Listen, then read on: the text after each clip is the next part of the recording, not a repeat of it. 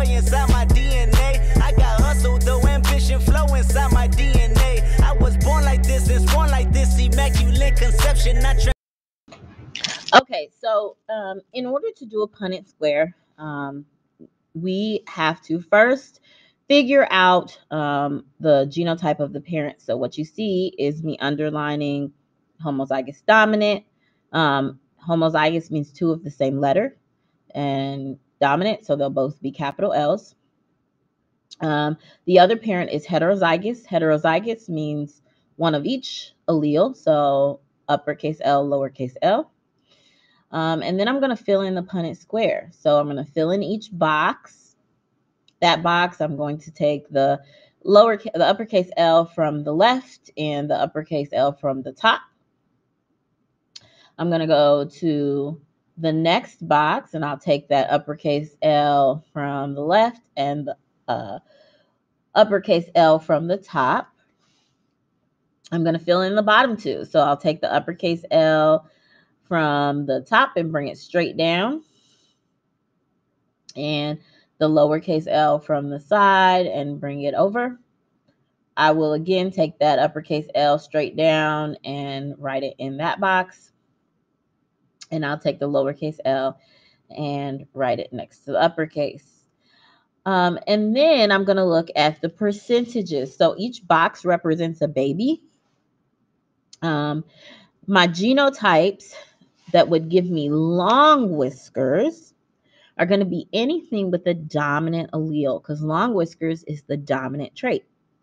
Dominant alleles are written with a capital letter. Um, so homozygous dominant or heterozygous both have that dominant allele. They'll give me, excuse me, long whiskers. Looking at the Punnett square, all four offspring would have long whiskers because they all have that dominant allele.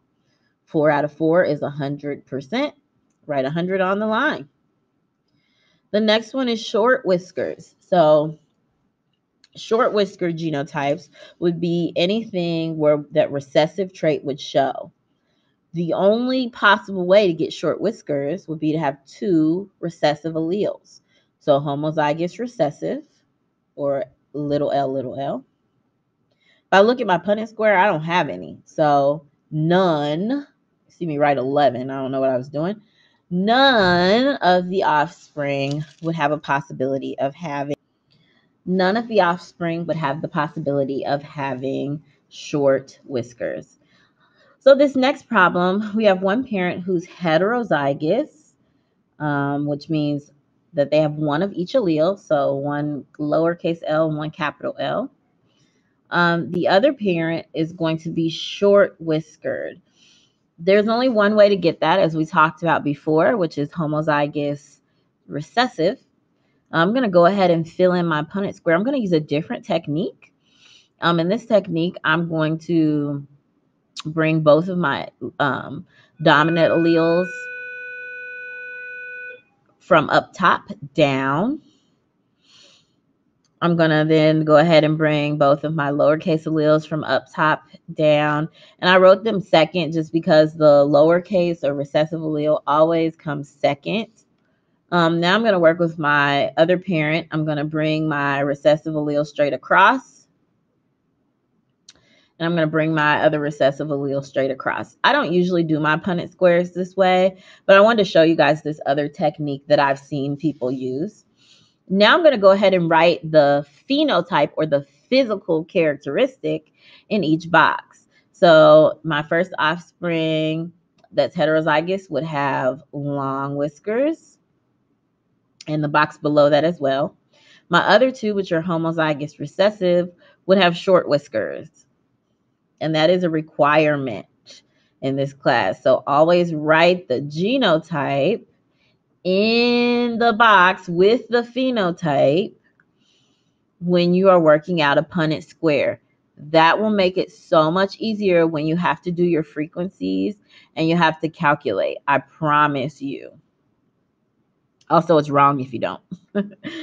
um, so then I'm going to calculate my percent of long whiskers. So um, I've already written my phenotypes. Two of those four offspring or 50% would have long, and two of the four offspring or 50% would have short.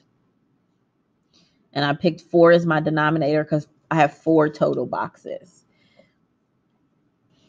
So for this next problem, um, I am going to work it out and I'm going to speed it up so you can kind of see me working it out, but I want to see you do it on your own.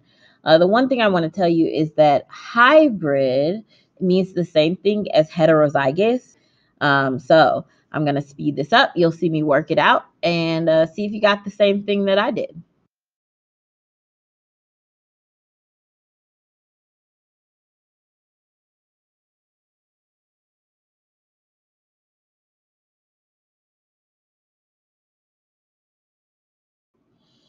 Okay, so now I'm just going to write out all of my possible genotypes of my offspring. So I could have um, a uh, heterozygous offspring or homozygous dominant or homozygous recessive. Um, now I'm going to write in my possible phenotypes. Phenotype, physical characteristic. Remember that. Don't forget it. Um, so I could either have a purple people eater with one horn or with no horn. And I actually got all of those possibilities in my Punnett square. Pretty cool, huh? All right, so on the back, I'm going to scoot it up in just a minute so that you can see. I'm going to work one more out with you. Um, please make sure that you're reading the questions before you're answering. I've already read them, so I can kind of already pull out the information, but you need to make sure you're reading carefully. So the first parent is um, is short haired, and also the second parent is short haired. Um, and you'll see me filling in the Punnett square. I did it pretty fast this time, so I won't speed it up.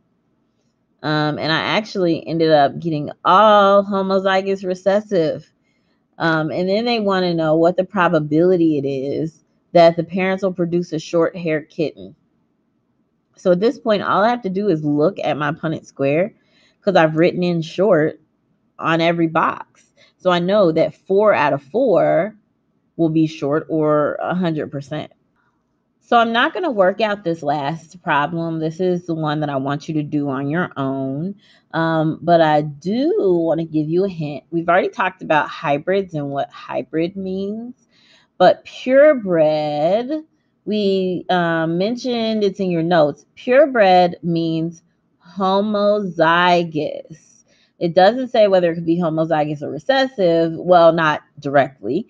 Um, but purebred means homozygous, either recessive or dominant.